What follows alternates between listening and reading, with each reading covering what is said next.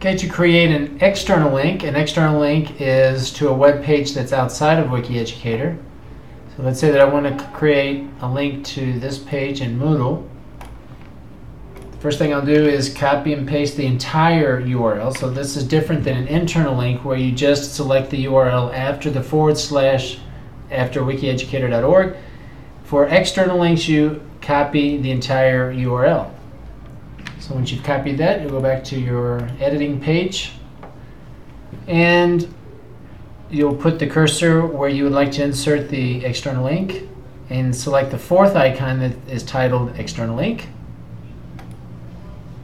and paste your URL.